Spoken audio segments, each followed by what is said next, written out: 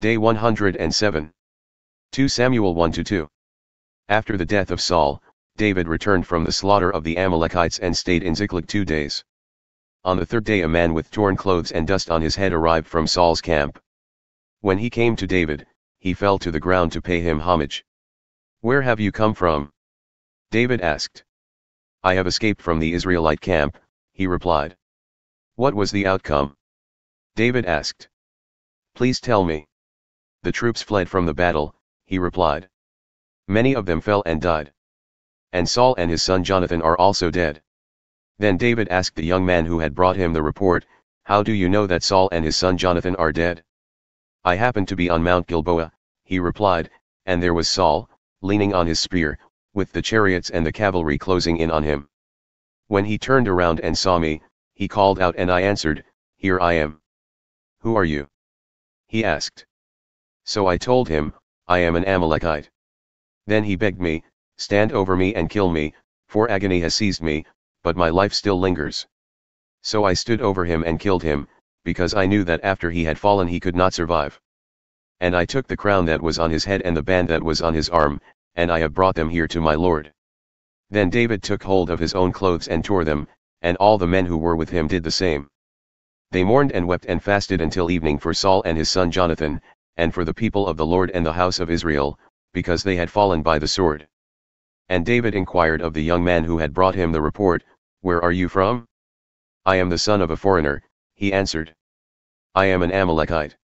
So David asked him, Why were you not afraid to lift your hand to destroy the Lord's anointed? Then David summoned one of the young men and said, Go, execute him. So the young man struck him down, and he died. For David had said to the Amalekite, your blood be on your own head because your own mouth has testified against you, saying, I killed the Lord's anointed. Then David took up this lament for Saul and his son Jonathan, and he ordered that the sons of Judah be taught the song of the bow. It is written in the book of Jasher, Your glory, O Israel, lies slain on your heights. How the mighty have fallen. Tell it not in Gath, proclaim it not in the streets of Ashkelon, lest the daughters of the Philistines rejoice, and the daughters of the uncircumcised exult. O mountains of Gilboa, may you have no dew or rain, no fields yielding offerings of grain. For there the shield of the mighty was defiled, the shield of Saul, no longer anointed with oil. From the blood of the slain, from the fat of the mighty, the bow of Jonathan did not retreat, and the sword of Saul did not return empty. Saul and Jonathan, beloved and delightful in life, were not divided in death. They were swifter than eagles, they were stronger than lions. O daughters of Israel, Weep for Saul, who clothed you in scarlet and luxury, who decked your garments with ornaments of gold. How the mighty have fallen in the thick of battle. Jonathan lies slain on your heights. I grieve for you, Jonathan, my brother. You were delightful to me, your love to me was extraordinary, surpassing the love of women. How the mighty have fallen and the weapons of war have perished. Some time later, David inquired of the Lord, Should I go up to one of the towns of Judah? Go up, the Lord answered. Then David asked, Where should I go? To Hebron, replied the Lord. So David went there with his two wives, Ahinoam of Jezreel and Abigail the widow of Nabal of Carmel. David also took the men who were with him, each with his household, and they settled in the towns near Hebron.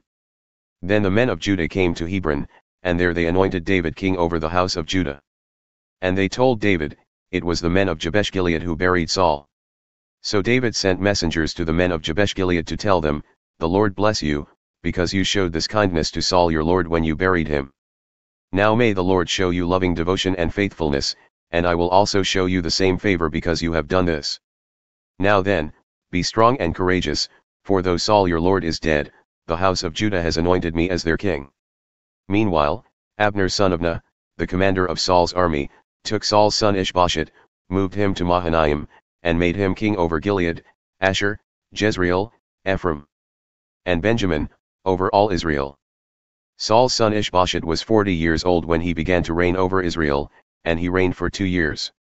The house of Judah, however, followed David. And the length of time that David was king in Hebron over the house of Judah was seven years and six months. One day Abner son of Ner and the servants of Ishbosheth son of Saul marched out from Mahanaim to Gibeon. So Joab son of Zeruiah, along with the servants of David, marched out and met them by the pool of Gibeon. and the two camps took up positions on opposite sides of the pool. Then Abner said to Joab, Let us have the young men get up and compete before us. Let them get up, Joab replied. So they got up and were counted off, twelve for Benjamin and Ishbosheth son of Saul, and twelve for David. Then each man grabbed his opponent by the head and thrust his sword into his opponent's side, and they all fell together.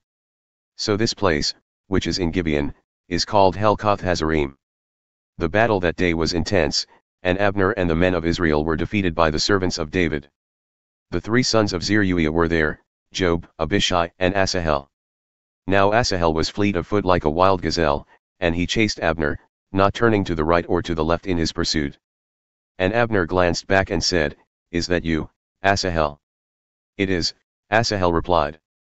So Abner told him, Turn to your right or to your left, seize one of the young men, and take his equipment for yourself. But Asahel would not stop chasing him. Once again, Abner warned Asahel, Stop chasing me. Why should I strike you to the ground? How could I show my face to your brother Joab? But Asahel refused to turn away, so Abner thrust the butt of his spear into his stomach, and it came out his back, and he fell dead on the spot. And every man paused when he came to the place where Asahel had fallen and died. But Joab and Abishai pursued Abner. By sunset, they had gone as far as the hill of Ammah opposite Giah on the way to the wilderness of Gibeon. The Benjamites rallied to Abner, formed a single unit, and took their stand atop a hill. Then Abner called out to Joab, Must the sword devour forever? Do you not realize that this will only end in bitterness? How long before you tell the troops to stop pursuing their brothers? As surely as God lives, Joab replied, if you had not spoken up, the troops would have continued pursuing their brothers until morning. So Joab blew the ram's horn, and all the troops stopped, they no longer pursued Israel or continued to fight. And all that night Abner and his men marched through the Arabah. They crossed the Jordan, marched all morning, and arrived at Mahanaim. When Joab returned from pursuing Abner, he gathered all the troops. In addition to Asahel, 19 of David's servants were missing, but they had struck down 360 Benjamites who were with Abner. Later, they took Asahel and buried him in his father's tomb in Bethlehem. Then Joab and his men marched all night and reached Hebron at daybreak. Luke 14 verses 1 to 24. One Sabbath, Jesus went to eat in the home of a leading Pharisee, and those in attendance were watching him closely. Right there before him was a man with dropsy. So Jesus asked the experts in the law and the Pharisees, Is it lawful to heal on the Sabbath or not? But they remained silent. Then Jesus took hold of the man, healed him, and sent him on his way. And he asked them, Which of you whose son or ox falls into a pit on the Sabbath day will not immediately pull him out? And they were unable to answer these questions. When Jesus noticed how the guests chose the places of honor, he told them a parable, when you are invited to a wedding banquet, do not sit in the place of honor, in case someone more distinguished than you has been invited. Then the host who invited both of you will come and tell you, give this man your seat. And in humiliation, you will have to take the last place. But when you are invited, go and sit in the last place, so that your host will come and tell you, friend, move up to a better place.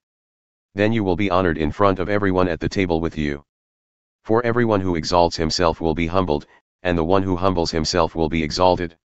Then Jesus said to the man who had invited him, When you host a dinner or a banquet, do not invite your friends or brothers or relatives or rich neighbors. Otherwise, they may invite you in return, and you will be repaid. But when you host a banquet, invite the poor, the crippled, the lame, and the blind, and you will be blessed. Since they cannot repay you, you will be repaid at the resurrection of the righteous. When one of those reclining with him heard this, he said to Jesus, Blessed is everyone who will eat at the feast in the kingdom of God. But Jesus replied, A certain man prepared a great banquet and invited many guests. When it was time for the banquet, he sent his servant to tell those who had been invited, Come, for everything is now ready. But one after another they all began to make excuses. The first one said, I have bought a field, and I need to go see it. Please excuse me. Another said, I have bought five yoke of oxen, and I am going to try them out. Please excuse me. Still another said, I have married a wife, so I cannot come. The servant returned and reported all this to his master. Then the owner of the house became angry and said to his servant, Go out quickly into the streets and alleys of the city, and bring in the poor, the crippled, the blind, and the lame. Sir, the servant replied, What you ordered has been done. And there is still room. So the master told his servant, Go out to the highways and hedges and compel them to come in, so that my house will be full for I tell you, not one of those men who were invited will taste my banquet.